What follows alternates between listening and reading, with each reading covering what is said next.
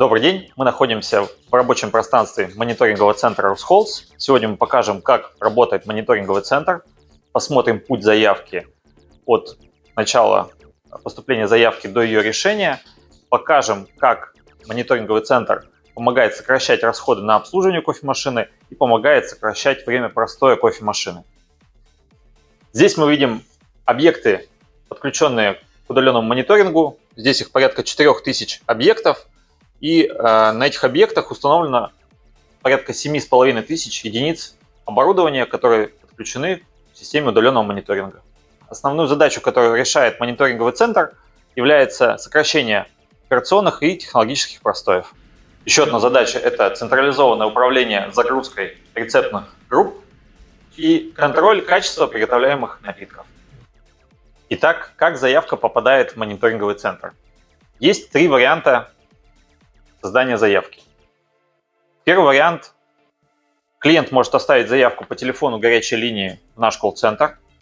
Также заявка может быть отправлена письмом по электронной почте. И вариант, когда кофемашина сама создает критическую ошибку, и оператор делает звонок на объект, где установлено оборудование.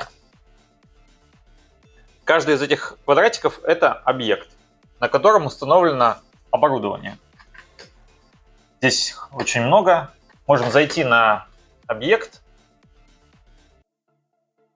и здесь увидеть такое оборудование, как холодильник для продуктов, большая морозильная камера, большая холодильная камера, витрина для соленой выпечки, витрина для сладкой выпечки, витрина для напитков, витрина с молочными напитками, холодильник для сэндвичей, а также кофемашина и холодильник для кофемашины. Данное оборудование у нас находится на связи. Мы можем зайти на это оборудование, проверить его параметры и получить доступ к двухстороннему управлению. Зайдя на кофемашину, мы можем видеть ее параметры, а именно температуру водяного бойлера 97 градусов, температуру парового бойлера 127, а также температуру молока в молочном контейнере 5 градусов. Здесь мы увидим экран кофемашины, мы можем зайти в сервисное меню и получить доступ к настройкам кофемашины. Здесь мы видим список критических ошибок. Ошибки у нас делятся на два типа. Это операционные и технологические. Операционные ошибки – это связанные с э, ошибками персонала.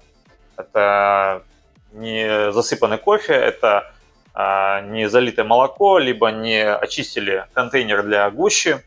И технологические, которые уже связаны с поломкой кофемашины и требуют выезда сервисного механика. И с теми и с теми ошибками работает оператор, пытается их решить удаленно, и если не получается, уже передает на сервисную службу. На этом экране мы видим заявки, которые клиенты оставили через колл-центр, и эти заявки будут обработаны операторами в ближайшее время. Разберем самые распространенные заявки, которые попадают в мониторинговый центр. Заявка 448-651 кофемашина не наливает молоко. Оператор видит эту заявку, берет ее в работу, видит контакты заявителя, контактный номер, адрес объекта. Далее оператор подключается к кофемашине и пытается решить проблему удаленно. Здравствуйте, мониторинговый центр Русполос Ольга. Звоню по вашей поданной заявке, не доливает молоко. Я сейчас подключаюсь в вашу кофемашину, вижу, что кофемашина не промывалась. Запустите сейчас промывку молочной системы. Также замените форсунку оранжевого цвета.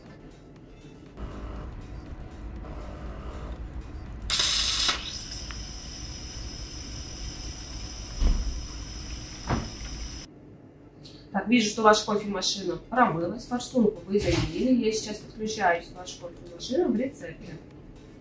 Вижу, все рецепты у вас соответствуют технологической карте. Длина трубки у вас соответствует пенном норме. Сейчас я сделаю системный разгон. После этого мы с вами протестируем напиток. Кофемашина ваша перезапускается. После того, как ваша кофемашина включается, мы с вами делаем тест напитка. Сейчас у вас кофемашина включилась. Возьмите, пожалуйста, стакан, пролейте капучино. Не разбрызгивает молоко. Очень хорошо. Напиток пролился полностью? Все, спасибо. Заявку закрываем. Всего хорошего. До свидания. До 40% заявок удается решить удаленно. В случае, если оператор понимает, что проблема техническая, заявка передается на сервисную службу и назначается на сервисного механика. Это могут быть такие заявки, как декальцинация, техническое обслуживание, ну и другие технические заявки. Всем объектам, которые подключены к системе удаленного мониторинга, доступны группы отчетов, такие как отчет по напиткам, отчет по промывкам, отчет по простоям и отчет сравнения пробитых по кассе напитков и фактически пролитых на кофемашине. Посмотрим на примере отчета по промывкам.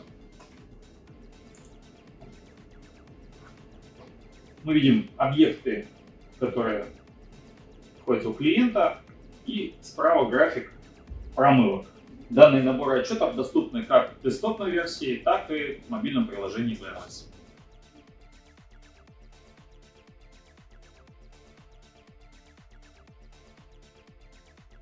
После того, как заявка была передана из мониторингового центра, заявка поступает в диспетчерский центр сервисной службы Росхолдс, после чего заявка назначается на сервисного механика. Сервисный механик получает уведомление в приложении BMS, видит заявку, ее номер, причину и приступает к выполнению данной заявки. Специалисты сервисной службы отслеживают передвижение механиков на карте и в зависимости от загрузки назначают на них заявки. Основной задачей мониторингового центра является повышение прибыли вашего предприятия за счет сокращения затрат на сервисное обслуживание и ремонты, а также за счет сокращения простоев оборудования.